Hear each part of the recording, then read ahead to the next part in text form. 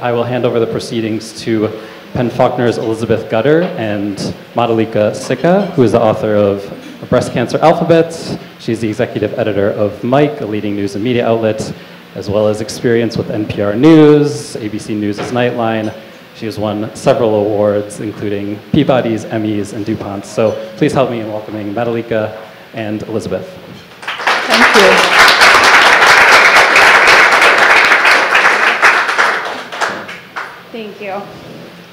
Good evening. Thank you so much, everyone, um, for being here tonight to welcome Hanya Yanagihara. My name is Elizabeth Gutting, and I'm the program director of the PEN/Faulkner Foundation. It's our pleasure to partner with Politics and Prose to host this event, and we're ever grateful for their friendship.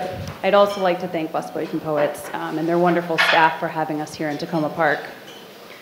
Literature can be like true love in that you remember the moment a book that will change your life entered your life, just like you remember those first glances or words exchanged when you meet someone you'll love.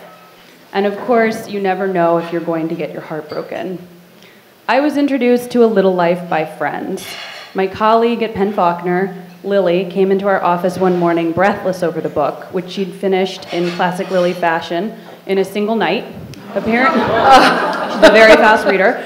Apparently, the night began at 3 p.m. and ended at 3 a.m., but still impressive for what we all know is a very long read.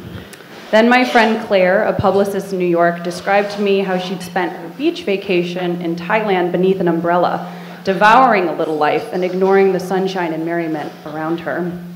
It's the same story anyone who has read this book will tell you that they couldn't put it down, that they were consumed by it, that it stays with them for days, weeks, and months after turning the last page. I read A Little Life at the beginning of June, intrigued by what I'd heard, unaware of what I was getting into a classic love affair. I am a slow, deliberate reader, but I did finish it quickly. There's no other way, it seems, to read this book. One night, curled on my couch, I heard myself audibly gasp at a particularly grisly scene and remembered I existed. I'd temporarily forgotten because I could think only of Jude St. Francis, the tortured and brilliant man at the heart of the novel. At first, A Little Life seems to be a classic Bildungsroman, following four ambitious and pleasingly diverse young men who moved together to New York City after college. There's handsome Willem, an aspiring actor, Malcolm, a soon to be famous architect, JB, a first generation Haitian American artist who uses his friends as the subject for his gorgeous work, and enigmatic Jude, a lawyer and mathematician whose provenance is largely unknown to his friends, who are drawn to him and protective of him, and who serve as his family since he has none. And it is Jude we fall in love with and try to understand, and whose harrowing past consumes us, making those pages turn with anticipation of the most excruciating sort. Much like the book's cover, there's a blurred line between pleasure and pain that goes along with reading it. Hanya Yanagihara wrote A Little Life in 18 months while working full time as an editor for Conde Nast Traveler. Of writing the book, she told the millions, it felt oddly like being one of those people who adopt a tiger or lion when the cat's a baby and cuddly and manageable, and then watch in dismay and awe when it turns on them as an adult. that, that sells it. the book was nominated for both a Booker Prize and the National Book Award. It is her second novel. Her first, The People in the Trees, was hailed as the best book of 2013. It's my pleasure to now turn the evening over to Hanya Yanagihara in conversation with Madhulika Sikka. Thank you.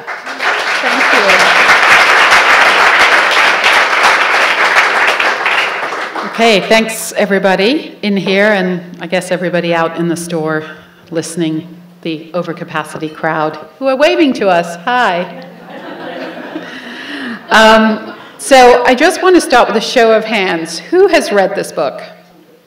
Wow, that's pretty impressive. Pretty so we can pretty be spoilery. and anyone outside who we can see, you guys have read the book? Yeah, okay. Actually, then that this is just like literally being in your book club where your friends actually all did read the book, as opposed to just read the 50 page, first 50 pages and you just focus on that. Um, so, Hanya, I'm delighted to be here in conversation uh, with you. I have to say, this is one of those books in the aforementioned book clubs that I'm in. It wasn't a book club um, choice that I was in, but it was one of those ones that everybody was talking about in a oh my God, have you read? Um, there is something about this book that stays with people and gets them really, really tied up in it. Um, it's heavy, obviously. It's 800 pages in paperback and heavier in the hardback, but it's a heavy book. It's a heavy story. It deals with heavy things. And I'm just wondering, where did that come from in your head? Um, we'll get to the writing it in 18 months part later, but just, just where did it come from? I mean, I always wanted, well, first of all, I want to say thank you to everyone in Madhulika and also Politics and Prose, who were some of the first to get behind this book. And this book's uh, acceptance by a larger audience was not a foregone conclusion, which we can talk about too, for any of you who are aspiring writers and, and and I'll be here to disenchant some more. But anyway, I wanted to write a character who never got better. And it's, oh, you can't hear. Can you hear now? Yes. Yes, but there's, there's signaling out there that they, can you hear now? Now you can hear. All right. Okay. I'll try to, to I'll try to, the mic. I'll try to shout a little bit. Um, signal if you can't, lady in the green, okay? There's a helpful person in teal there. Um, okay. So I wanted to create a character who never got better. And that one of the things I wanted to do textually was see what kind of suspense and tension could be made in a book in which the redemption narrative never gets fulfilled. You know, we're used to our characters, not only in books, but in movies and in any sort of art, and in life, I think, um, beginning at here and ending here. But I thought, what if, oh, there's, they're waving again. Louder still? Is, okay. This is really unnerving because it's like you're watching, you know, when they have, when Ling Ling is giving birth at the zoo, that panda, and there's, wait, let me try holding it. Yeah. All right, that is that better?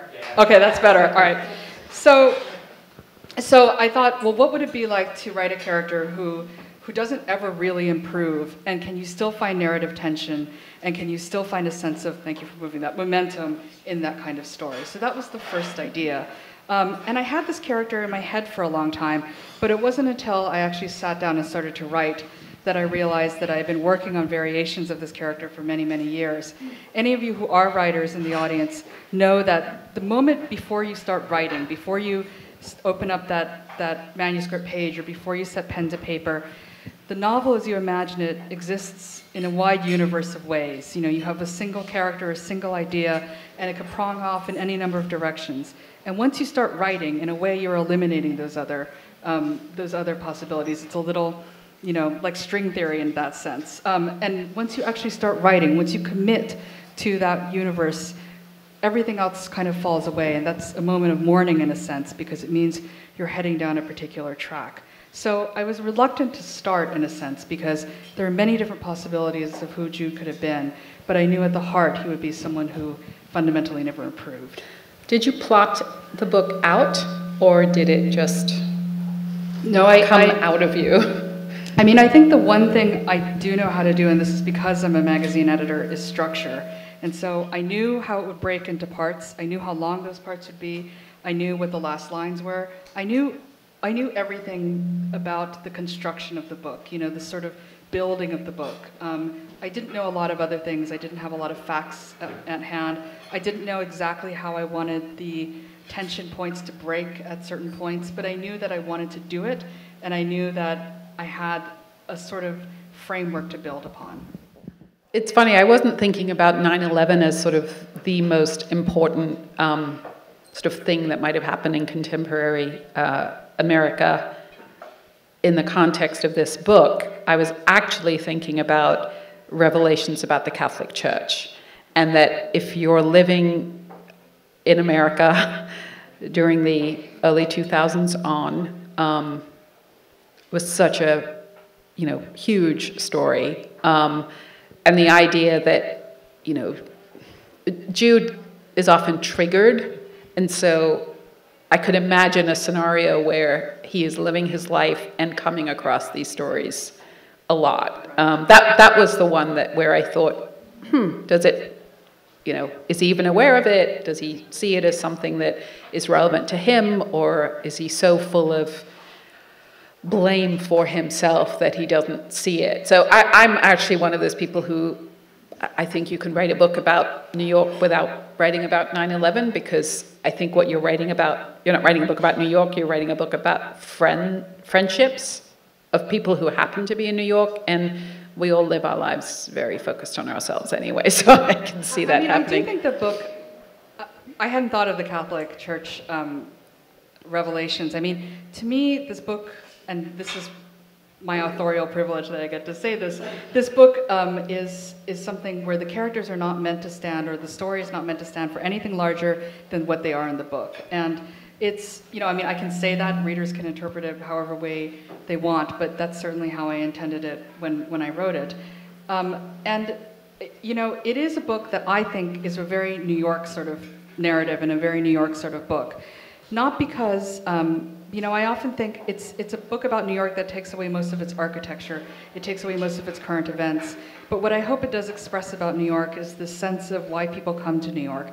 And it's because of this ambition. You know, it's because what, what outsiders call the sizzle and the crackle of New York is actually about the collective um, ambition of, you know, several million people squeezed into a very tight space who are there on the run from their families, desperate to create another, and desperate to become something else. And I think that, you know, when you have that kind of friction and, and buzz and energy, that's what makes New York New York, and that's what makes this book a New York book. But it's not a New York book because of because of its landmarks or because of its, its physicality necessarily.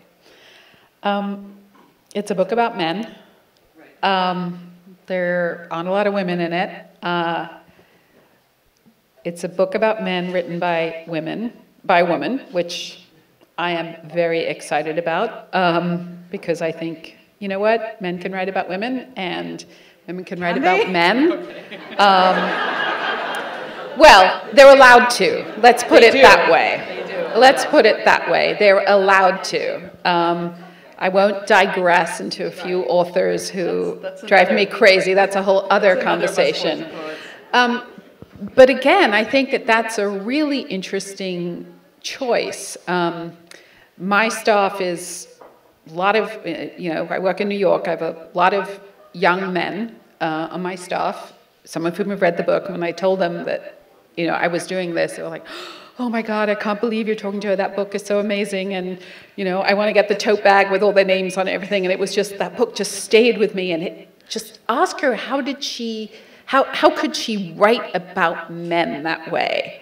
And so I'm asking you on behalf of my young men staff, how, uh, and you know, was that even conscious at all either? Did it matter that you were writing about men? Did you start off thinking, I'm going to write about four friends, and did it just happen to be that they were men, or did you say, I'm going to write about four male friends? I started off thinking I was going to write about four male friends. If this book had been about women, it would have been very different in texture and tone and emotionality. You know, I mean, when you are a woman and you have another friend who's a woman, or you're a man and have a friend who's a woman, you are really given permission to talk about almost anything. You can talk about the very mundane, you can talk about the very big. There's nothing as a woman that is off limits for you to discuss. And in no way does discussing in no way does discussing anything sorry. Oh, okay, Oh. sorry. Hello, is that better? Oh, God, I'm so sorry, pandas. Um, so anyway, I was saying this book, it's, it's very much supposed to be a book about four male friends. And if it, if it had been about women, it would have been a very different kind of book. Thank you. Um, because women really are given permission to talk about anything. There's nothing that you as a woman can talk about that will jeopardize your womanhood necessarily. There is a great deal that men are not given great permission to talk about um, because men are simply taught uh, when, they, when they're boys that there are certain topics, there are certain emotions that they don't, aren't allowed to access or they're not allowed to advertise or they're not allowed to speak about. And that's true even today. I mean, I'm 41. It was certainly true among the generation of male friends I grew up with, and I think it's probably, perhaps to a lesser extent, but still true now. And so I wanted it to, as a novelist, it's always wonderful to work with a group of people who are limited by society in a certain way, either because they don't have full rights or they because they're, they're not permitted full language or full voice. And when you're working within those boundaries and you're trying to create a set of characters who are um, who have been taught by society to be one way, and are trying to figure out what it is to be another way, that's a great gift as, as, as a novelist, and it's a wonderful thing to be able to do um, within the realms of fiction. Did you, can people hear? Nope. It must be the cord. Okay. Um, did you model that conversation, that relationship, the, the relationships that they had on anyone? Were you aware of, you know, in your life, young men who had that kind of friendship, which, um, which is so close and which is, you know, they're so dependent on each other in so many ways in a way that I think actually does not get depicted in contemporary fiction or in movies or TV shows. Um, did, did you know anyone like that? I have two very close friends who run in big circles, and they, I'm not the sort of person who has a big circle of friends who has a posse, but they do. And when you do have a friend who runs in a group, who runs in a herd, the, the, the, dynamics are particular to that herd. And I have one friend in particular who's been with a group of friends. There's about 12 of them in the circle. They've all been friends since college, and they work terrifically hard at it. Um, you know, no one's married in that group, no one has kids. But what they really do have is this shared commitment to remain friends and to keep the friendship alive.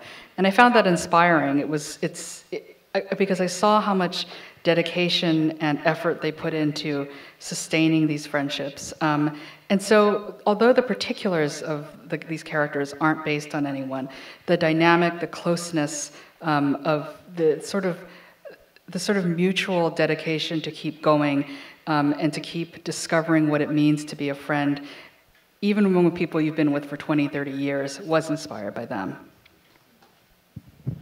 I mean, I think what comes across incredibly effectively is what hard work it is to, to stay with your friends through thick and thin, through you know moments when they offend you or drive you crazy, and um, it, it, it's not easy. It requires a lot of um, a lot of energy. Um, and I think you convey that so well. And for me, it was refreshing to read that about men um, because I just maybe I don't read broadly enough um, but it's not something that, uh, that I've come across.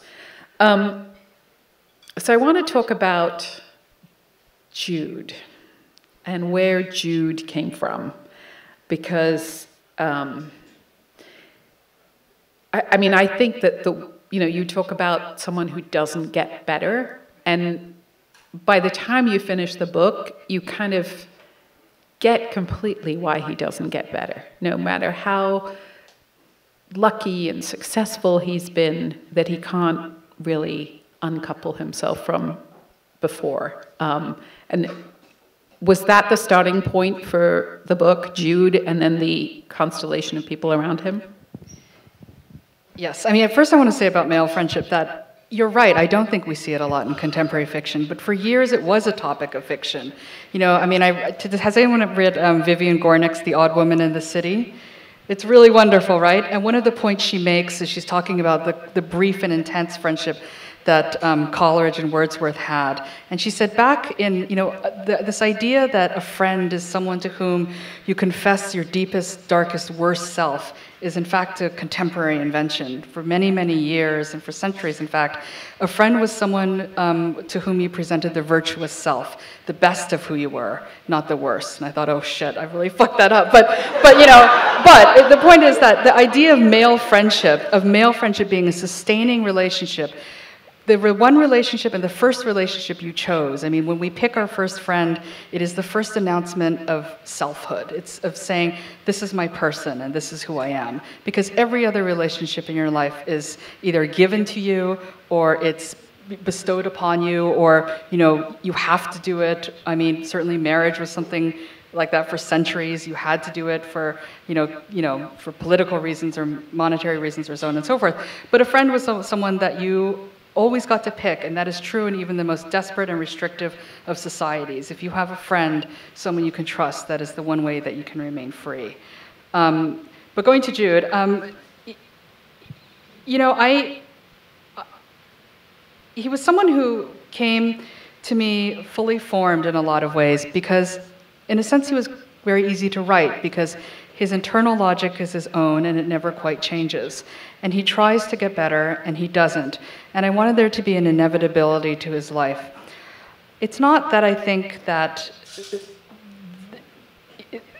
that people can't overcome great trauma, but I think for some people there is a line, there is an amount and they're not able to come back from it. And one of the things I tried to do in this book was really glide a lot between past and present tense. This idea that if you're living with trauma, trauma is not something that happened in the past and then there's a hard dividing line and it's the present.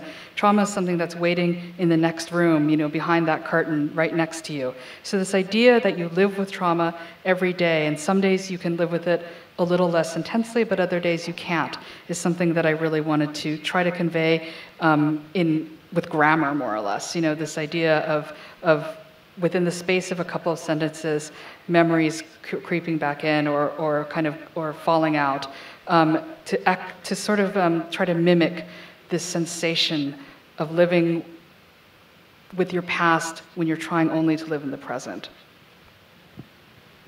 I mean, I, I was going to ask you about that actually, because that I found that a very, um, very successful device that you as a reader, you are somewhat experiencing his day to day navigation of his trauma.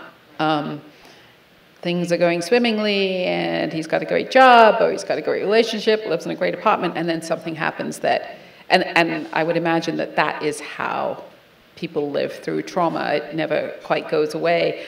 Um, and the thing that was interesting to me was that it's one of the things the book is about is memory and never really escaping it. Um, and you have to kind of come to some some agreement with yourself of how am I going to live with this memory and how am I going to manage it. Um, but you see that with Jude and you see that with Willem a little bit um, when he's thinking about his brother. But that notion that you know, to me, it's interesting also if it is, if you think about it as a New York novel, which some do, some don't. I know that wasn't your intention. But you go to a city, you go to start your new life and do new things and be the best person that you can be or the person you've imagined yourself to be. But you can never quite do it because it's always back there. I mean, I mean, I think there's, there's two things that are tyrannical about this particular culture. The first is the tyranny of happiness. You know, this idea that it's all something that we should have. None of us really know what it is, but we're told that we should have it, that it's promised us as a birthright. And, and this, this sort of obsession with something so vaporous. It's like being obsessed with a cloud, you know?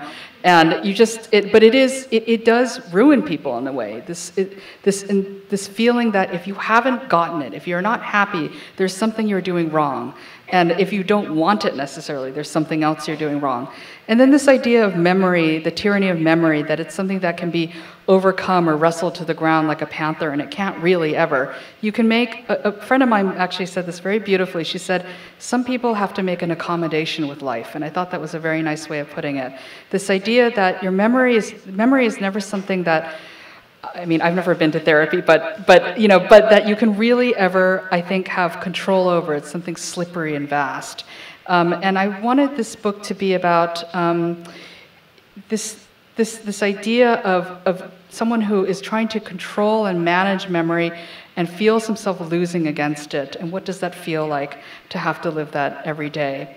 The other thing I wanted to do is I think we see memory and we see the facts of our life much differently when, they're in, when we're in our 20s. You know, when you're in your 20s, often the things that happened to you 10 years ago when you were a child, children accept so much, it's what's given to them. Children are much more accepting of, of, of horrible conditions than adults would be because they don't know any different. You know, you just you think this is the way life is, and then as you get older, you start realizing maybe this isn't the way life has to be. But when you get older, you start making more sense of your life and you start putting it into a greater perspective. You start contextualizing it. And that's, I think, for many people when the events of the past really start haunting them um, in a way that, that, that it didn't when they were in their 20s. And so with Jude, I wanted to create a character too for whom his memories and his trauma becomes more and more vivid as he moves further away from it, um, as, he, as he moves beyond those years they um, confusingly for him become worse. They do become worse for him, and I think what comes across is this it's almost like he pinches himself every day, this sort of I'm, I have this going on in my life and it's wonderful, but somewhere behind me, that hyena or something is going to come back and get me. Um, and it, it's interesting you talk about this sort of pursuit of happiness. It's enshrined in the American psyche. Um, did you set out to have him try to find happiness? And then, as you wrote, it wasn't going to happen? Or was it always going to be just that, that little bit further away from him than he could do? I just don't think, I think he had it taken out of him, the capacity for happiness, for sustained happiness. So, among the many things that are quite amazing about this book is the incredible detail and the things that, you know, you, you have a sort of facility talking about the law, mathematics, architecture, the movie business, um, medicine, uh, food. It's kind of extraordinary. Um, and it feels very real and very rooted in reality to me. And I'm just wondering the kind of research that you did. I didn't even mention the horribleness of what Jude went through.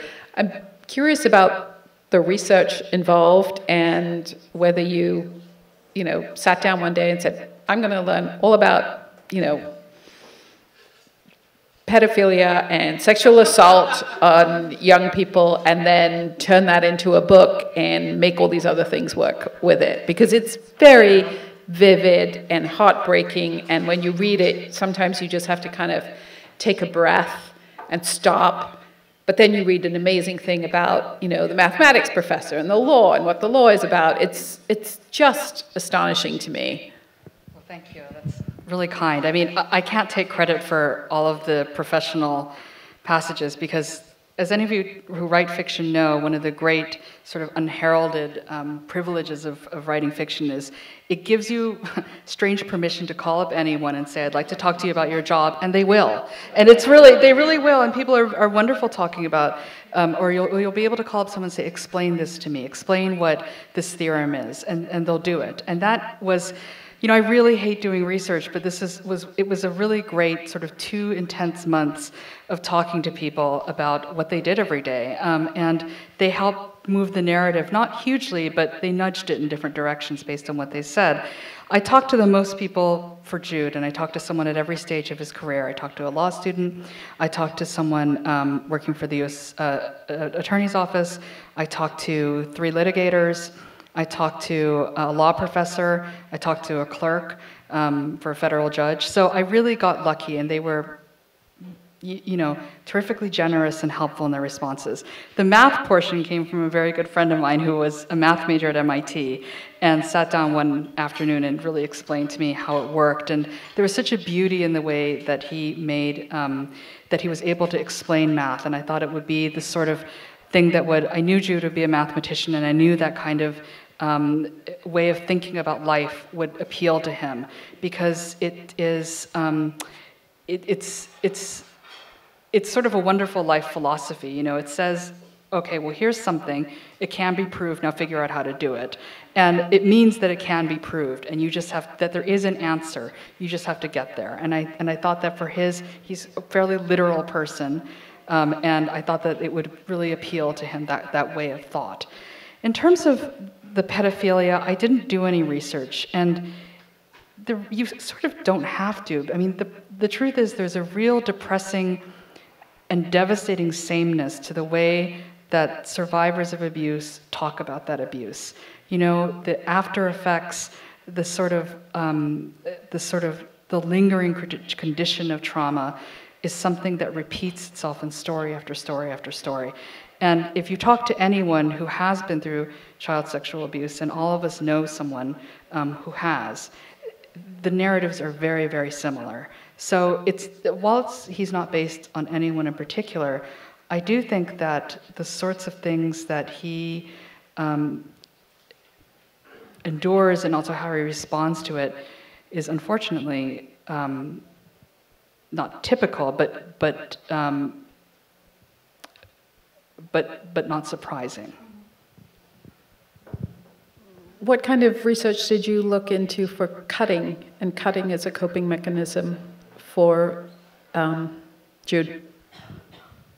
None. And you know, I was telling my friend who's here that I found out after, you know, it is something mostly women do, and, because, and women do it because it's it's the internalization of rage, whereas men tend to explode outward in anger. Um, and but I thought if you know you were someone who had been sort of squashed down by your guardian all this time, it would seem like a very effective method for management on, on Brother Luke's part.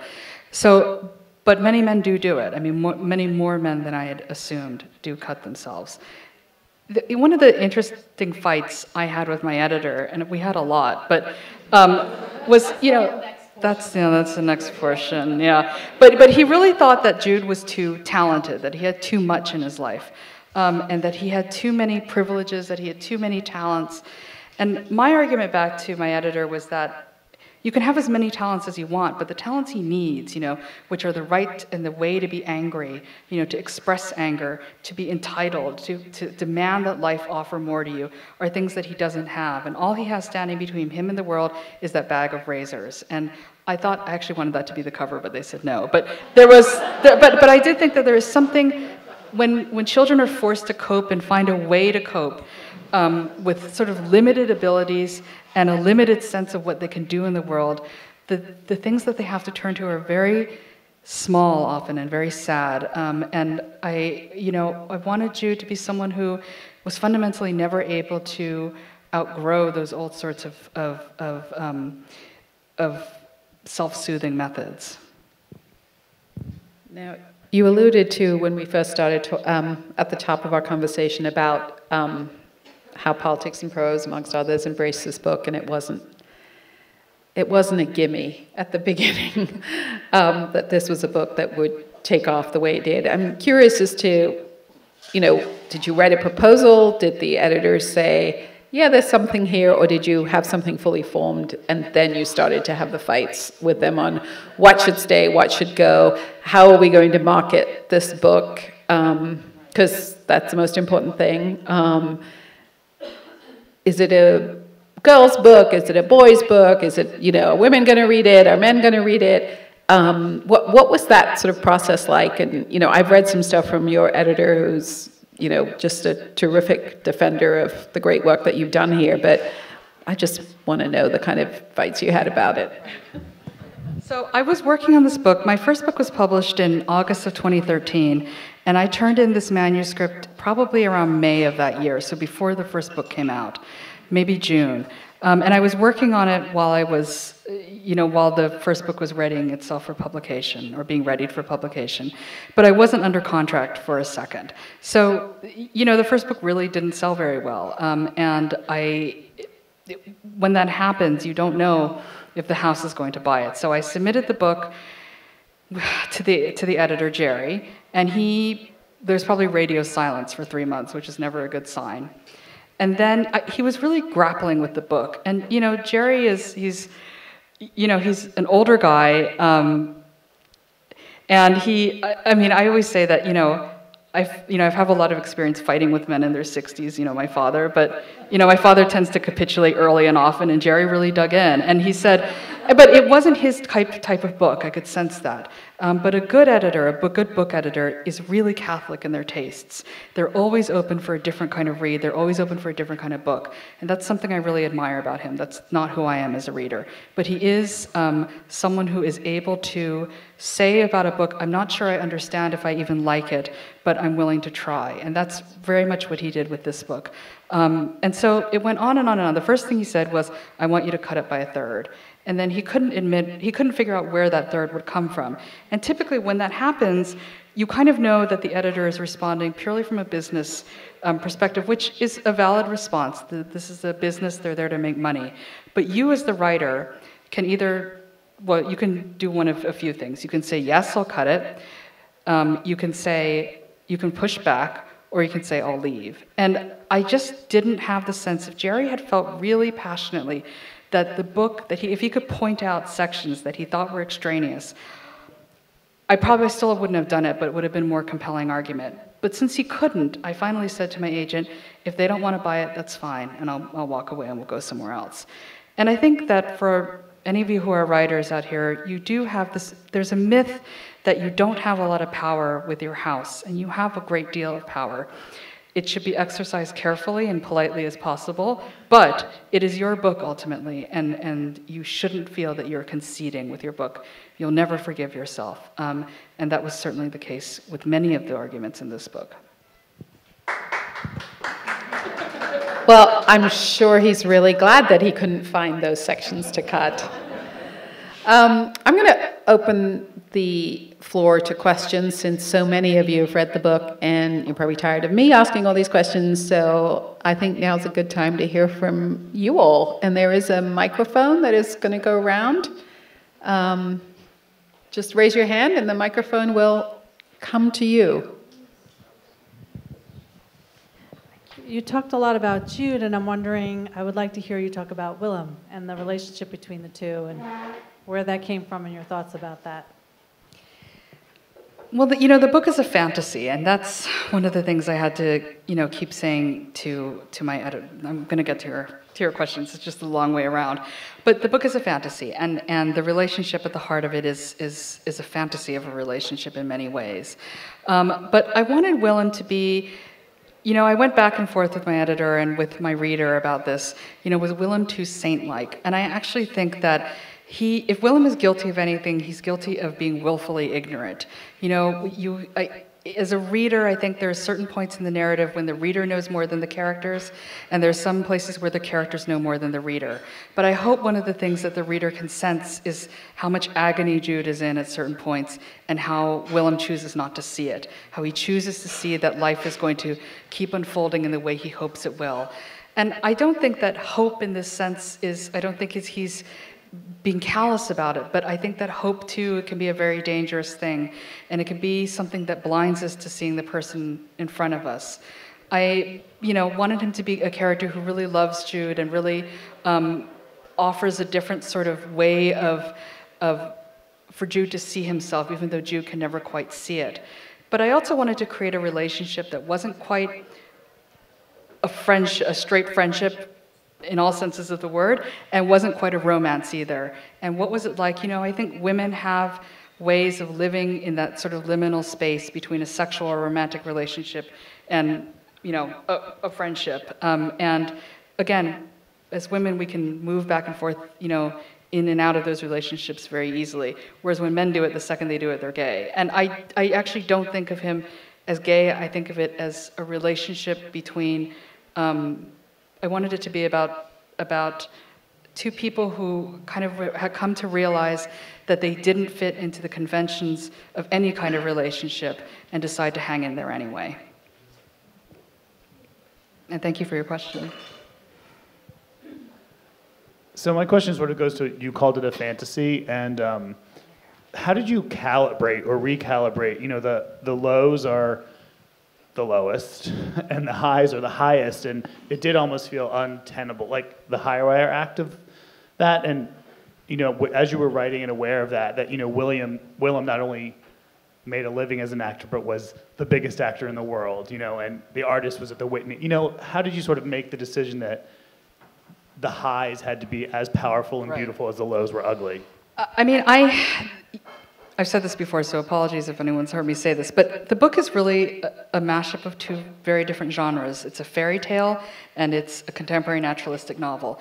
And many of the things that it borrows from a fairy tale, you know, the great suffering of a child, the parentless, the parentless state of him, um, the lack of mothers, the lack of time, the lack of redemption, the sort of um, unsteadiness or, or hollowness of, of a happy ending um, are wedded here to you know the way the characters think, the way they move, the what they expect from the world, how they're educated, the sort of language they use, how they spend.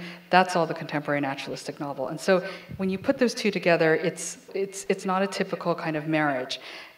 But one of the things that I was able to do within that sort of um, you know, chimeric space is, is have um, a place in which everything was really exaggerated and where every emotion um, was, was sort of turned up to maximum.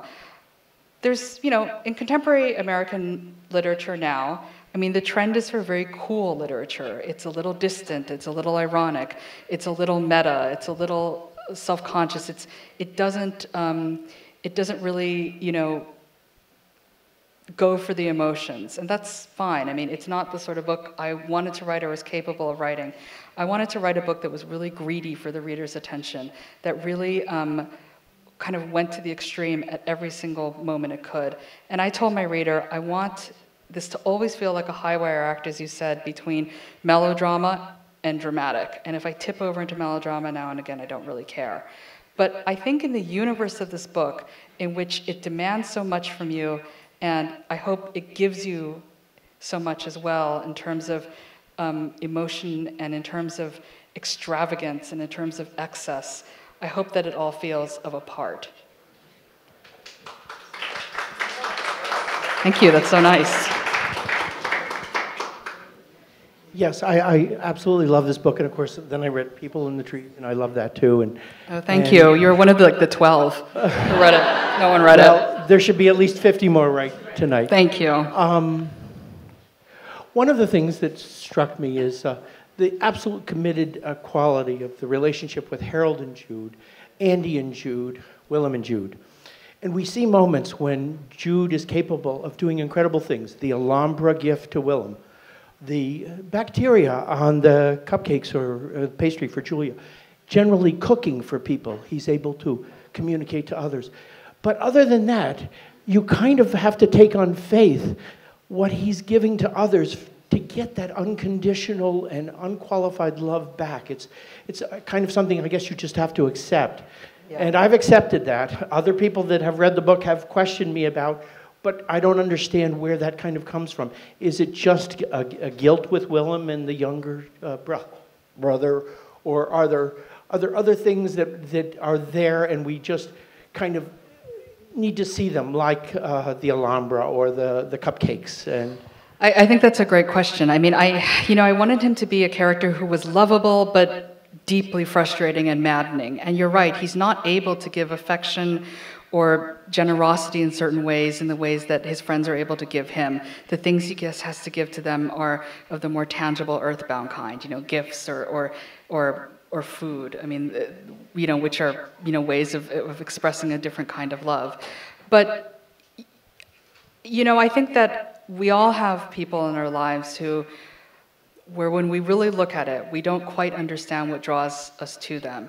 And sometimes it is a mix of pity and frustration um, and guilt. And I wanted there to be a sort of question, you know, is Willem with Jude because of guilt? And if he is, is that fine? And I think it is. You know, I think that I think that we cleave to people and try to help people for all sorts of reasons, and in the end, it doesn't really make a difference as long as we're trying to do it.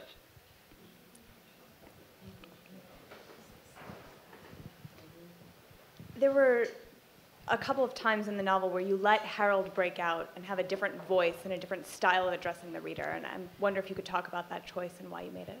Sure. So the narrative, as you know, breaks in three places, and, it, and there's a first person section from Harold. And, you know, if this book is about a romance between Willem and Jude, it's also about a romance between Jude and Harold. And it is the one point, the three, those three points, I should say, are the three points in the book when, well, first, they're after particularly dark moments in Jude's life. And as you continue to read, I hope that you feel, the reader feels that he's tunneling deeper and deeper, that Jude is a trustworthy narrative, a narrator, sorry, but he gets less and less trustworthy about himself.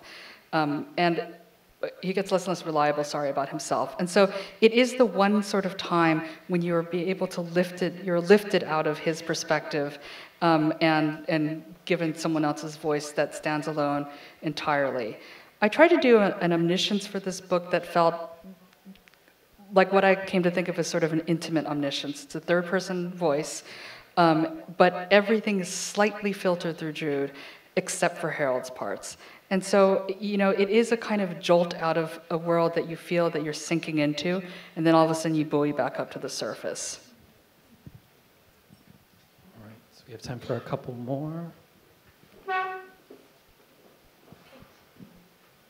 I want to stand up so you can see me. Um, I don't really have a question. I have more of a comment and a compliment. Um, this was a really beautiful book to read on, on two different levels for me. One, it's just a beautiful story. Um, you're an amazing writer, I, and I'm going to go get your, Thank your you. first book. Um, but also, also as somebody who um, suffers from um, childhood-related PTSD and has been in therapy for 14 years, and I had to almost laugh when you said you'd never been to therapy. I was like, this, you tell this story so accurately. You capture what you were saying about, um, you know, how trauma never really stops and, and for adults and, and it, it's still there. It's still something that we always come back to. Um, and for people who suffer from trauma, and, and mine was nowhere near a fraction of what he suffered, um, it's always a gift when you can read a book um, or hear somebody else's story and hear them portray it so accurately and so vividly. It's, uh, it's very healing. Um, so I just wanted to say thank you, and, and you did it beautifully. Well, thank you so much. It's a wonderful compliment. Thank you.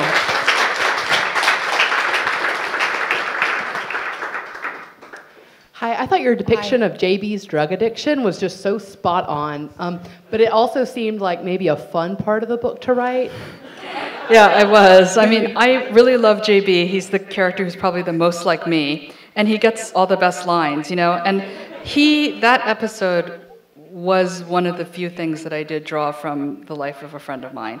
Um, and, but he is a character I really love, and he is the character who changes and grows the most over the course of the book. I mean, the others remain fairly fixed. Um, and he's the one who I think struggles the hardest with what friendship is and how to be a good friend and how to be a good person. I mean, for most of us, it doesn't come naturally. Um, and it is a lifelong struggle to try to figure out what it means to be a loving person to someone else. And I wanted him to, to, to have that struggle.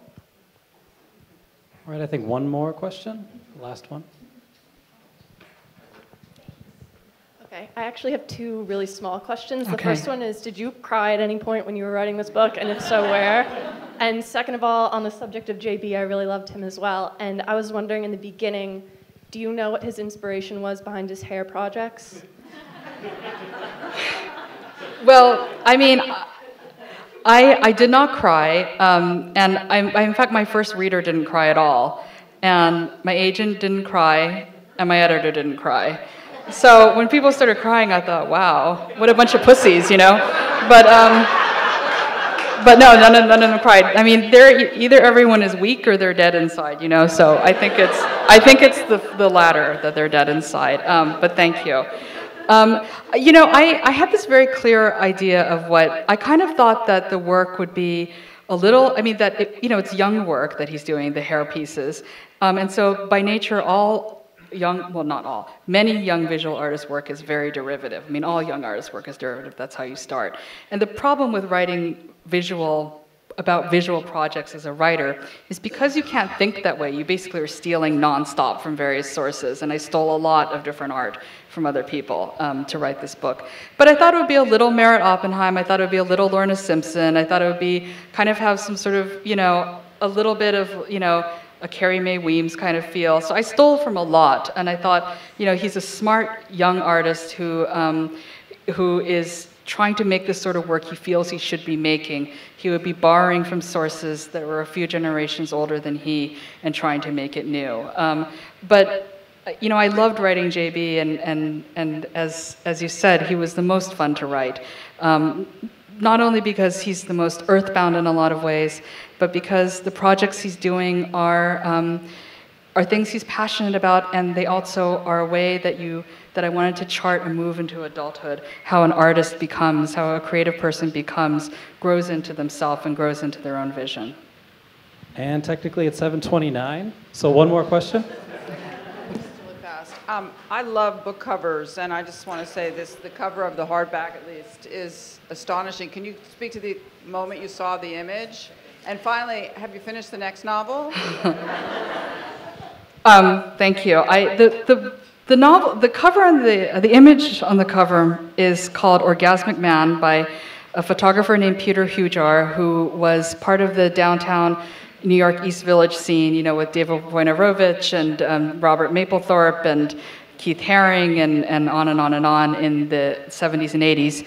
The picture was taken in 1969. I recently found out from Hujar's executor, Hujar died in 1987 of complications due to AIDS. And the man in the image is someone named Dutch Anderson, and there's no information on him. The, the estate doesn't know if he's alive, they don't know who he was, they don't know, you know, they don't know anything about him, which is a great story in and of itself. But I saw this image, a friend of mine reminded me of it when we were looking for cover images, and I thought it was so, I'm looking at it here, which is why I keep looking down, but I thought it was so wonderful because I thought, A, you couldn't tell whether he was in pleasure or in pain, but you knew that you were trespassing on a very vulnerable moment for someone, and it was unbearable to look at. And I hope that it echoes the experience of reading the book as well, that you are violating someone's most intimate moment. Um, and in that sense, um, I, I thought it was the right cover. Oh, the next book, I have no idea. I mean, none. Well, Hanya, I want to again congratulate you on quite an amazing, um, amazing book, and thank everyone for coming. And I just have to ask the gentleman in the back with his T-shirt, because when I tell my staff member that I saw someone wearing a T-shirt like that, he's going to be, "Where did you get it from?" So I will come and ask you later. Oh, you made it! Awesome. Um, so congratulations and thank you.